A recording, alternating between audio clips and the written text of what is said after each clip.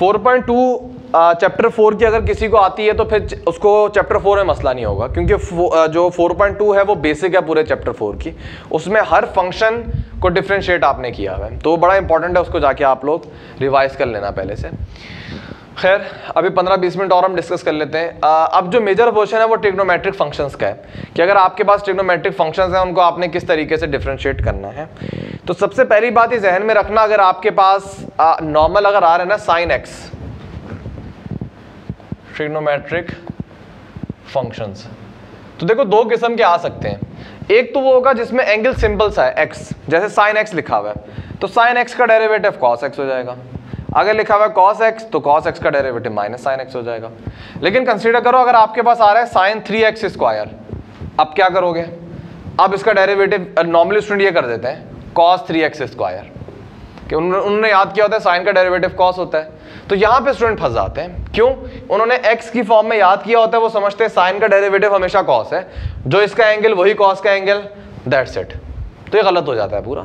तो मैं इनके एंगल को एज अ फ़ंक्शन करवा रहा होता हूँ, ताकि आप लोगों को मसला ना हो, मैं अभी बताऊँगा कि क्या मेरा मतलब है कहने का। उससे पहले एक और चीज़ ध्यान में रखो कि अगर फ़ंक्शन के ऊपर पावर आई हुई है तो सबसे पहले तो आपने पावर रूल अप्लाई करना है। जैसे लेट कर लो, अगर आपके पास आया हुआ है साइन टू एक्स का क्यूब इस तरह भी लिखा जा सकता है या इस तरह भी लिखा जा सकता है। दोनों नोटेशन है। अगर थ्री दरमियान में लिखा हुआ या ब्रैकेट के बाहर लिखा हुआ है, दोनों का मतलब है कि साइन के ऊपर क्यूब मौजूद है। तो सबसे पहला काम तो आपने पावर रूल अप्लाई करना है। ट्रिग्नोमेट्रिक को छोड़ दो पावर रूल अप्लाई करो। तो पावर रूल क्या कहता है? थ्री पावर पहले आ गई, फिर पावर में से वन कम करो टू उसके बाद जब आप बेस का डेरिवेटिव लोगे ना तो फिर इन स्टेप्स पे फॉलो करना जो मैं आपको बताऊँगा कि साइन का डेरिवेटिव किस तरह लेते हैं या कॉस का डेरिवेटिव किस तरह लेते हैं। तो अगर पावर मौजूद है तो आप स्ट्रेट अवे पावर रूल पहले अप्लाई करोगे। उसके बाद जो मैं यहाँ पे बता रहा हूँ, वो आपने काम करना है। और अगर पावर नहीं मौजूद तो डायरेक्ट जो मैं आपको बता रहा हूँ, आप लोगों वो चीज़ अप्लाई कर देना।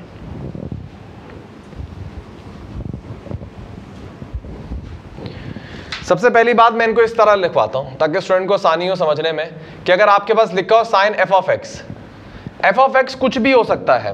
कितनी दफ़ा आप साइन के एंगल में बहुत अजीब अजीब फ़ंक्शन देखोगे। जैसे लिखा हुआ होगा साइन एल एन एक्स अब स्टूडेंट घबरा जाते हैं कि यार साइन और एल एन एक्स दो एक साथ आ गए क्या करेंगे हम? कुछ नहीं करना यार आपने।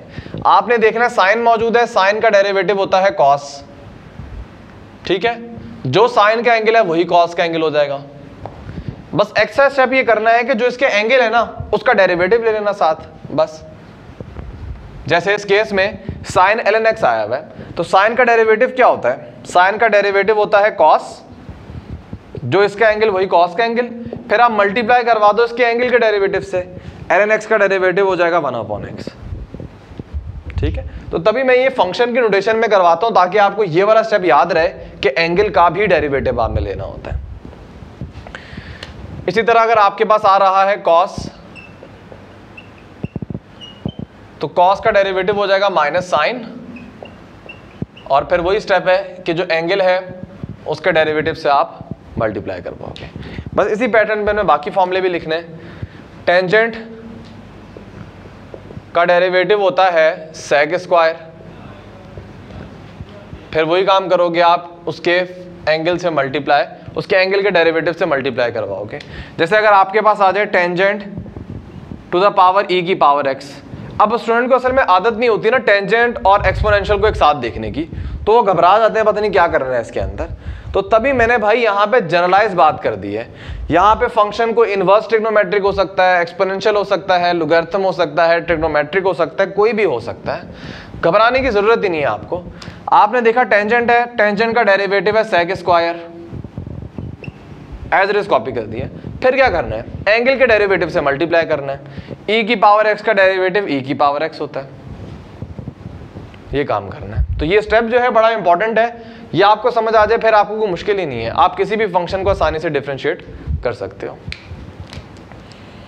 फोर है आपके पास कॉट कॉट का डेरिवेटिव होता है माइनस कॉसैक स्क्वायर और फिर आप एंगल के डेरिवेटिव से मल्टीप्लाई कर लोगे। इसी तरह फिर कौन सा बचा है? सेक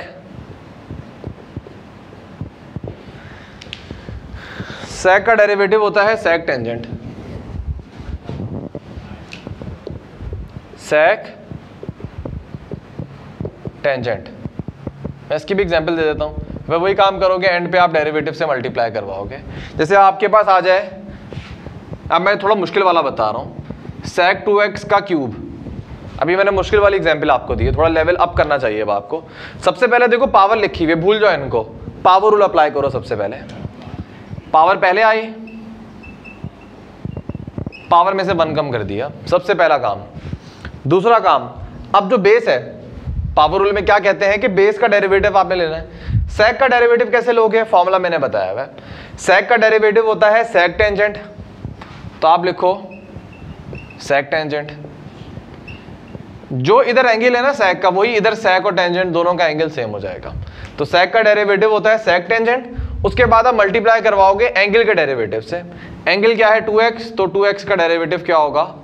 2 के बराबर होगा। तो अगर आप सिंप्लीफाई करो तो 2 3 से मल्टीप्लाई होगे 6 ये है सेक स्क्वायर टू एक्स ये है सेक टू एक्स मल्टीप्लाई करो तो सेक क्यूब टू एक्स हो जाएगा। और टेंजेंट टू एक्स अपनी जगह पे तो आपके कॉन्सेप्ट अगर क्लियर हैं तो आपको पावर रूल अप्लाई करना पड़ जाए, कुछ भी अप्लाई करना पड़ जाए, आप आसानी से उसको अप्लाई कर लोगे। ठीक है? और फिर आखिरी डिस्कस करते हैं। कॉसैक कॉसैक का डेरिवेटिव होता है minus cosec cot derivative of angle जैसे सेक टेंजेंट था, ये माइनस कॉसैक कॉट है। इस तरीके से आप निकाल लोगे। साइन आपको दिखने में, ये ऑर्डर याद रखना है इसी ऑर्डर में इनको समझना। आपको आगे भी आसानी होगी। इवन अभी भी जब आप इन्वर्स ट्रिग्नोमेट्रिक के पढ़ोगे, उसमें भी आपको आसानी होगी। तो cos positive negative positive negative positive negative तो माइनस साइन भी आपको जहन में रहेगा यार किस किस के साथ माइनस साइन है किसके साथ नहीं है। कोई सवाल यहाँ तक?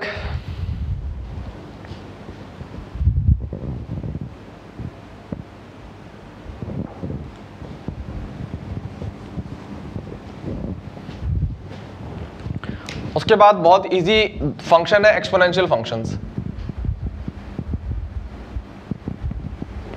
अब एक्सपोनेंशियल फ़ंक्शन में भी स्टूडेंट इतनी गलती करते हैं। उनको आदत, मैंने एक स्टूडेंट को सवाल दिया था। अच्छा अगर कोई स्टूडेंट अपना माइक्रोफोन ऑन करता है ना, मैं आप लोगों से भी वही सवाल पूछता हूँ। अभी पूछूँ बाद में? नहीं, अभी पूछ लेता हूँ। तरह मुझे बताओ इसका डेरिवेटिव क्या होगा?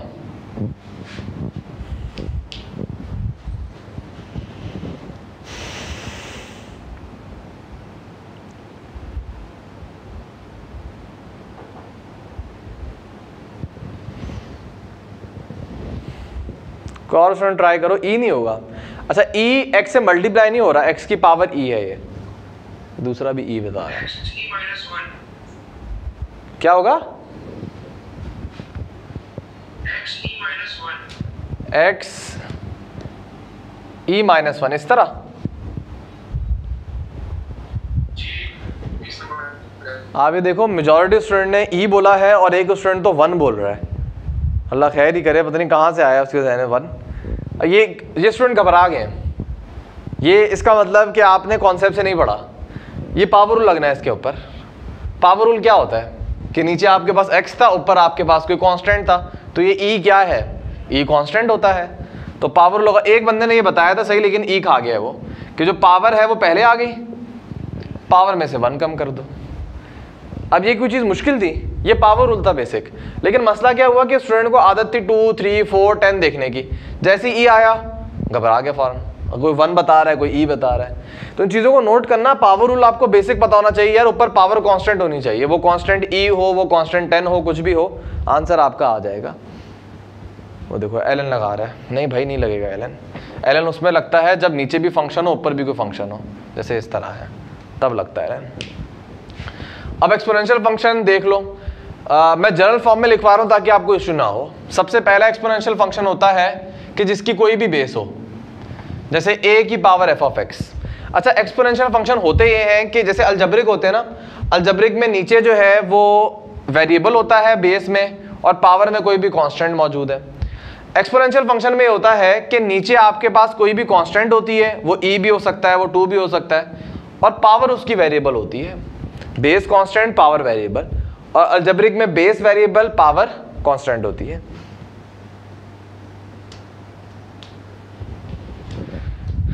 मैंने यार आज ही क्लास में बताया था कहाँ कहाँ से करना है। आप जब रिकॉर्ड लेक्चर देखोगे तो आपको समझ आ जाएगा कि मैंने क्या बताया था, किस तरीके से तैयारी करनी है। यहाँ पे जो कांस्टेंट है वो ए है। अच्छा मुझे समझ नहीं आता, आप लेक्चर के दरमियान सवाल पूछ कैसे लेते हो ये? ये सवाल होते हैं ग्रुप पे या वैसे पूछो आप। लेक्चर में इतनी इंपॉर्टेंट चीज़ समझा रहा हूँ, आप लोग मुझसे पूछ रहे हो बुक कौन सी सॉल्व करनी है? फिर जब समझ नहीं आएगा, फिर कहोगे, सर रिपीट करें. बेस यहाँ पे है ए ए मैंने जनरलाइज बात की है ए कोई भी कांस्टेंट हो सकता है। यहाँ पे 10 की पावर कोई भी फ़ंक्शन हो 2 की पावर कोई भी फ़ंक्शन हो, या ई e की पावर कुछ भी हो तो डेरिवेटिव क्या होगा? कि सबसे पहले आप एक्सपोनेंशियल फ़ंक्शन को एज इट इज़ कॉपी करोगे, फिर आप उसकी पावर का डेरिवेटिव लोगे, फिर आप लिखोगे एल एन ए ये तीन स्टेप में आप इसका डेरिवेटिव कंप्लीट करोगे। एग्ज़ाम्पल अगर आपके पास लिखा हुआ है थ्री की पावर एक्स स्क्वायर अब किस तरह डिफ्रेंशिएट करोगे? सबसे पहले ये एक्सपोनेंशियल फ़ंक्शन है। बेस कांस्टेंट पावर वेरिएबल तो किस तरह इसको डिफ्रेंशिएट करोगे? सबसे पहले एक्सपोनेंशियल फ़ंक्शन को एज इट इज़ कॉपी करना। उसके बाद पावर का डेरिवेटिव लेना एक्स स्क्वायर का डेरिवेटिव टू एक्स फिर एंड पे लिखना एल जो बेस है एल के बाद लिख देना। तो इस तरीके से आप किसी भी एक्सपोनेंशियल फ़ंक्शन को डिफ्रेंशिएट करोगे। तीन स्टेप है। तीनों स्टेप को आपस में मल्टीप्लाई कर देना। आपके पास एक्सपोनेंशियल फ़ंक्शन का डेरिवेटिव आ जाएगा। अब ये देखो, मैंने बात जनरलाइज की। अब यहाँ पे कुछ भी नंबर आ जाए नीचे टेन आ रहा है या कुछ भी आ रहा है प्रोसेस यही रहेगा। यही तीनों स्टेप आपने करने हैं। इसी तरह अगर आपके पास आ जाए टेन की पावर थ्री साइन एक्स अब स्टूडेंट घबरा जाते हैं यार टेन की पावर साइन एक्स कैसे बन जाती है? तो भाई टेंशन लेने वाली बात नहीं है एक्सपोनेंशियल फ़ंक्शन है ना। नीचे कांस्टेंट ऊपर वेरिएबल तो एक्सपोनेंशियल वाला रूल लगाओ। सबसे पहले एज इज़ कॉपी करो, फिर पावर का डेरिवेटिव लो। थ्री साइन एक्स का डेरिवेटिव होगा थ्री कॉस एक्स थ्री को साइड पे कर दो साइन का डेरिवेटिव कॉस होता है। उसके बाद एंड पे आप लिखोगे एल एन बेस क्या है टेन तो एल एन टेन तो कॉन्स्टेंट कॉन्सेप्ट जो है वो आपको आना चाहिए। वरना आपके लिए कोई इतना मुश्किल नहीं होगा। कॉन्सेप्ट आता है, आप आसानी से कर लोगे। तो एक एक्सपोनेंशियल फ़ंक्शन होता है जिसमें बेस ए लिखी हुई है। एक ई e के साथ भी होता है। ई e में एक आसानी हो जाती है। तो मैं बता देता हूँ अलग से। अगर आपके पास ई e की पावर में कोई फ़ंक्शन लिखा हुआ है तो डिफ्रेंशिएट का वही रूल है कि ई को एज इट इज़ कॉपी करो। जो पावर है, उसका डेरिवेटिव लो और एंड पे आप एल एन ई नहीं लगाते यहाँ पे। असूली तौर पे यहाँ पे लगाना चाहिए था एल एन बेस ई है तो आपको ई लगाना चाहिए था। लेकिन एल एन ई वन के बराबर होता है तो दैट्स वाई हम ये वाला स्टेप नहीं करते जब बेस आपकी ई के बराबर हो। और अगर ई e के अलावा कोई और बेस हो, जैसे मैंने बताया टेन थ्री तो फिर आप तीसरा वाला स्टेप भी कर रहे होते हो। जैसे मैं एग्ज़ाम्पल दे देता हूँ, आपके पास लिखा हुआ है ई e की power tangent X exponential function है बेस कांस्टेंट पावर वेरिएबल तो आप किस तरह डिफ्रेंशिएट करोगे? एज इट इज़ कॉपी करो। फिर, जो एंगल है उसका डेरिवेटिव लो। टेंजेंट का डेरिवेटिव सेक स्क्वायर बस। एंड पे एल एन ई लिखने की ज़रूरत नहीं है, वो वन के बराबर होगा। तो इस तरीके से आप एक्सपोनेंशियल फ़ंक्शन को डिफ्रेंशिएट करोगे। बात क्लियर है यहाँ तक?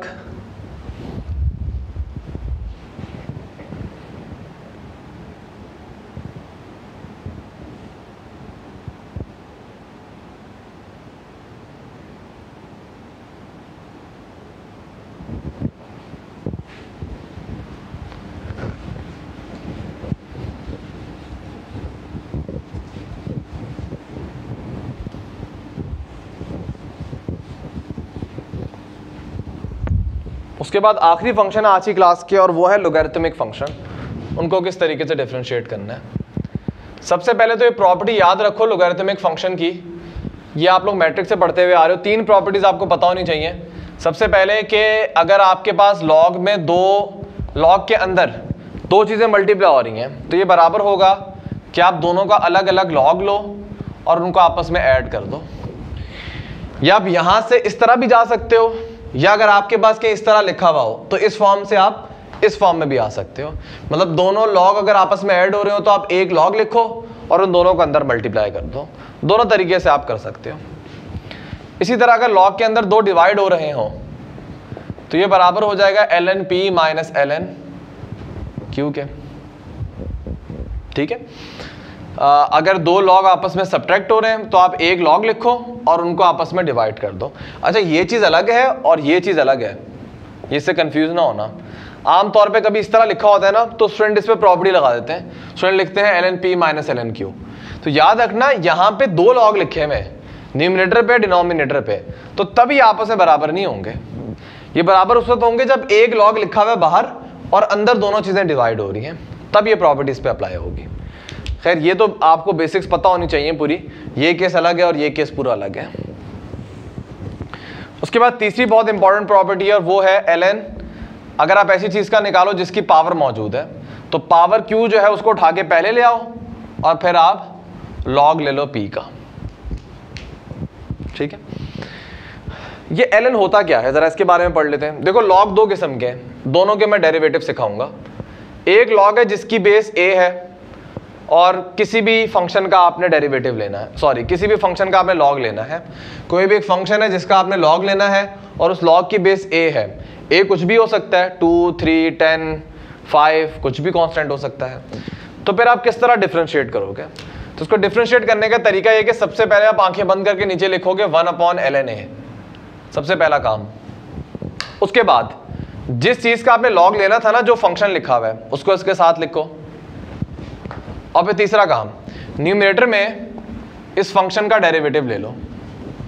जो नीचे फ़ंक्शन लिखा हुआ है न्यूमिनेटर में उसका डेरिवेटिव ले लो। जैसे, ये बड़ा मशहूर बोर्ड का एमसीक्यूज है, लिखा हुआ है लॉग कंसिडर कर लो ए एक्स ये चीज़ लिखी होती है उन्होंने। तो किस तरह डिफ्रेंशिएट करोगे? तो उसका डेरिवेटिव हो जाएगा वाई प्राइम भी लिख सकते हो D Y upon D X भी लिख सकते हो, दोनों नोटेशन है डेरिवेटिव की। कि सबसे पहले आप नीचे लिखो one upon L N A उसके बाद लॉग किसका लेना है? एक्स का। नीचे एक्स लिखो। ऊपर आप मल्टीप्लाई करवाओगे एक्स के डेरिवेटिव से। एक्स का डेरिवेटिव वन होता है। तो मल्टीप्लाई करवाओ ऊपर या ना करवाओ, बात एक ही होती है। तो लॉग ए एक्स का डेरिवेटिव क्या हो जाता है? One upon X L N A तो ये बड़ा मशहूर एमसीक्यूज है बोर्ड का। अच्छा इसी तरह मैं एक और एमसीक्यूज करवा देता हूँ। लेट कर लो, आपके पास आ रहा है Y equal to log ten sine X अब लॉग और साइन स्टूडेंट को कभी देखते ही नहीं है, वो समझते हैं, पता नहीं क्या हो गया, एक साथ आ गए ये तो कुछ भी नहीं हुआ, क्या हुआ एक साथ आने से? आप किस तरह डिफ्रेंशिएट करोगे? कॉन्सेप्ट देखना चाहिए ना, नीचे टेन आ रहा है तो आप नीचे लिखो one upon L N ten मतलब जो बेस होती है नीचे, आप वो वाला एल एन लिख देते हो। उसके बाद फ़ंक्शन को एज इट इज़ कॉपी करते हो। फ़ंक्शन है साइन एक्स न्यूमिनेटर में उस फ़ंक्शन का डेरिवेटिव लेते हो। साइन का डेरिवेटिव कॉस होता है। तो ये डेरिवेटिव है इसका। सिंप्लीफाई भी हो सकता है। कॉस अपॉन साइन होता है कॉट के बराबर। तो आप इसको इस तरह भी लिख सकते हो। कॉट एक्स और नीचे एल आ जाएगा। तो डिफरेंट तरीके से आप उसको डिफ्रेंशिएट कर सकते हो। तो एक लॉग तो ये होता है कि जिसमें कोई भी बेस आ रही है। टेन आ रहा है थ्री आ रहा है, कुछ भी आ रहा है। लेकिन अगर ई e आ जाएगा ना तो अगेन वही आसानी हो जाएगी। एल एन ई क्या होता है? वन के बराबर होता है। तो अगर बेस ई e है तो फिर आपको आसानी हो जाएगी। ये जो नीचे एल वाली टर्म है ना, ये आपके पास नहीं आएगी। जैसे मैं एग्ज़ाम्पल देता हूँ। अच्छा आपको ये पता होना चाहिए कि नोटेशन में लॉग ई e लिखो आप या आप एलएन लिखो, बात एक ही होती है। लेकिन ज़्यादातर हम एलएन यूज़ करते हैं। कोई और बेस हो तो आप ये वाली नोटेशन यूज़ करते हो लॉग ए या लॉग टेन लेकिन अगर बेस ई e हो तो उसको हम एल लिख देते हैं। लॉग ई e लिखने के बजाय हम उसको एल लिख देते हैं। तो मैं दोनों तरीके से सवाल करवा देता हूँ। लेट कर लो, आपके पास आ रहा है log E X square differentiate करो भाई इसको। किस तरह करोगे? भाई जब बेस ई e आ जाए ना तो एल एन वाला स्टेप करो या ना करो, बात एक ही है। क्योंकि एल एन ई क्या होता है? वन के बराबर होगा। तो लिखो ना लिखो, बात एक ही है। आपने देखना है कि बस लॉग के बाद कौन सा फ़ंक्शन आ रहा है? एक्स स्क्वायर तो नीचे आप लिखो एक्स स्क्वायर और न्यूमिनेटर में उसका डेरिवेटिव ले लो। तो one upon X square numerator में एक्स स्क्वायर का डेरिवेटिव टू एक्स सिंप्लीफाई करोगे तो आंसर हो जाएगा टू अपॉन एक्स तो अगर इस नोटेशन में आए तो कॉन्सेप्ट तो आपको पता है, मैंने बताया हुआ है, आप सॉल्व कर लोगे। और लेट कर लो, एक सवाल हम एल की फॉर्म में कर लेते हैं। अगर आपके पास आ जाए एल एन साइन एक्स जो कि यही पूरी चीज़ है। बस यहाँ पे टेन था तो यहाँ पे लॉग ई e लिखा हुआ है। मतलब एल एन का मतलब लॉग ई साइन एक्स तो सिंपल डिफ्रेंशिएट कर दो। आ, ये नीचे वाला स्टेप तो नहीं होगा ना ये वाला। तो जब भी एल आ रहा है क्या करना है? जो भी एल के बाद आ रहा है उसको डिनोमिनेटर में ले जाओ। एल के बाद साइन एक्स आ रहा था ना उसको डिनोमिनेटर में ले गए और फिर ऊपर उसका आप डेरिवेटिव ले लो। एल एन वाले फॉर्मूले में याद रखना कि जो वर्ड एल एन है ना इसके बाद जो भी चीज़ आ रही है उसको डिनोमिनेटर में लेके जाओ और ऊपर उसका डेरिवेटिव ले लो। बस सारी कंफ्यूजन आपको खत्म हो जाएगी। क्लियर है यहाँ तक बात सबको?